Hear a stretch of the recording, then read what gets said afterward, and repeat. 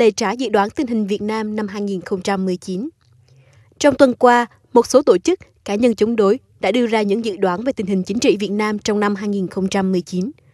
Trước khi phục vụ mục đích tuyên truyền, những dự đoán này thể hiện các chủ đề mà họ đang quan tâm hoặc trông chờ nhất trong thời điểm hiện tại.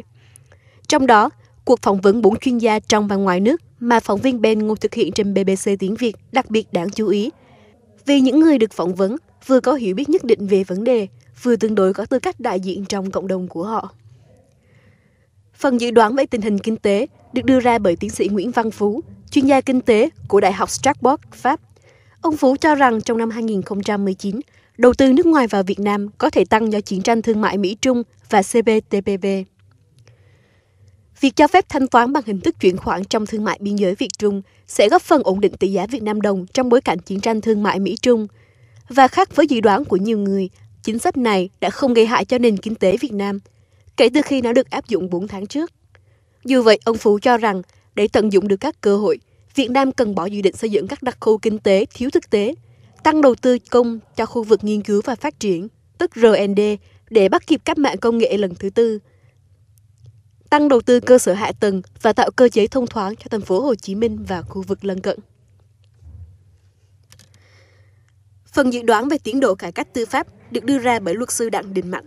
Ông Mạnh cho rằng, tương tự mấy năm gần đây, cải cách tư pháp sẽ vẫn diễn ra theo chiều hướng tích cực, do tác động từ CPTPP và EVFTA. Nhưng thay đổi sẽ diễn ra chậm do các quan chức, cán bộ của ngành tư pháp vẫn mang tư duy cũ.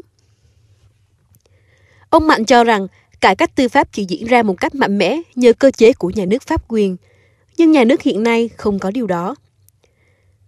Phần dự đoán về tình hình chính trị được đưa ra bởi nhà văn Nguyễn Viện.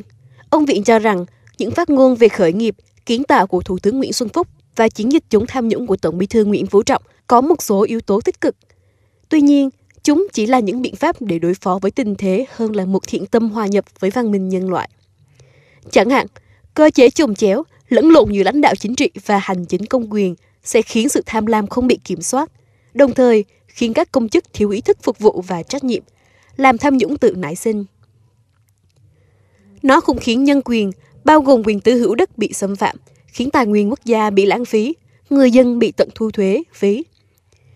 Ngoài ra, ông Viện đoán rằng trong năm 2019, phong trào đấu tranh cho dân chủ và các tổ chức xã hội dân sự sẽ bị càn quét. Ông cũng lo rằng các xung đột trên Biển Đông sẽ khiến Việt Nam rất dễ trở thành quân cờ thí như cuộc chiến tranh vừa qua. Sau cùng, phần dự đoán và những chuyển biến trong môi trường thông tin, truyền thông được đưa ra bởi một nghiên cứu sinh ở Mỹ, đề nghị ẩn danh. Người này cho rằng trong năm 2019, luật an ninh mạng và những quy định trong lĩnh vực báo chí sẽ khiến môi trường thông tin Việt Nam bị thắt chặt. Các công cụ tuyên truyền sẽ gia tăng kích động tinh thần dân tộc và đánh đồng chế độ với dân tộc. Trong khi đó, người dân chỉ phản ứng với những vấn đề ảnh hưởng đến quyền lợi hàng ngày của họ, chứ không quan tâm đến những khái niệm trừu tượng, chung chung như tự do, dân chủ. Bên cạnh đó, cũng chưa xuất hiện các tổ chức đối lập đủ thuyết phục để được quần chúng ủng hộ. Ngoài cuộc phỏng vấn do Ben Ngô thực hiện trên BBC tiếng Việt, một số gương mặt khác trong dư luận phi chính thống dự đoán rằng EU sẽ không thông qua EVFTA trong năm 2019. Rằng cuộc gặp Trump-Kim ở Việt Nam trong thời gian sắp tới sẽ thúc đẩy thay đổi ở Việt Nam. Tuy nhiên, những dự đoán này đa phần thiếu trung thực, thiếu tính bao quát hoặc chỉ phản ánh ham muốn chủ quan của người nói. Tóm lại, những người vừa nêu đều nhìn tình hình chính trị qua một lăng kính chung là mong muốn thay đổi thể chế chính trị của Việt Nam. Họ đều cho rằng thay đổi vẫn diễn ra trong nền chính trị Việt Nam nhưng chậm hơn mong muốn của họ và rằng người dân không quan tâm đến mô hình dân chủ đa đảng đủ nhiều để tăng tốc độ thay đổi. Theo họ, thì các vấn đề có thể tạo biến cố chính trị bao gồm các xung đột trên Biển Đông, dự luật đặc khu kinh tế, các vấn đề liên quan đến đất đai, tình trạng tham nhũng và các vấn đề ảnh hưởng đến cuộc sống hàng ngày của người dân như chuyện thuế phí. Sau khi xem xét vấn đề, chúng tôi xin đưa ra ba nhận xét như sau. Thứ nhất, với những dự đoán mang màu sắc thực tế và bi quan vừa nêu, bốn chuyên gia trên BBC tiếng Việt đã dội một gáo nước lạnh vào không khí lạc quan quá đa mà cuộc đảo chính ở Venezuela mang lại cho giới dân chủ.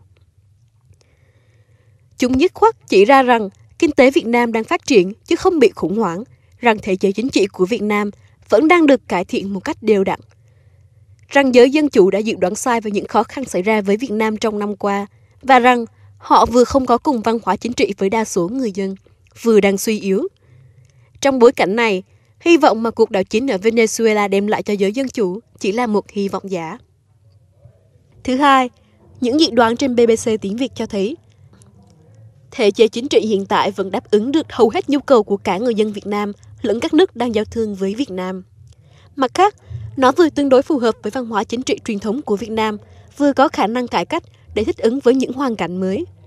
Như vậy, một cuộc cách mạng đường phố gây nhiều xáo trộn, hỗn loạn để thiết lập thể chế đa đảng sẽ giúp ích cho người Việt Nam nói chung hay chỉ giúp ích cho giới dân chủ và các thế lực nước ngoài mà họ phục vụ. Các nhà dân chủ nên tự hỏi mình điều này thay vì tiếp tục nhân danh người dân khi hành động.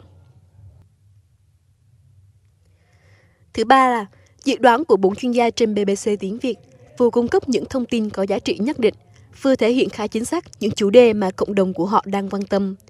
Vì vậy, chúng có thể là một nguồn tham khảo hữu ích cho các nhà quản lý. Xong trải trong tuần này và chỉ ra những sự thật thú vị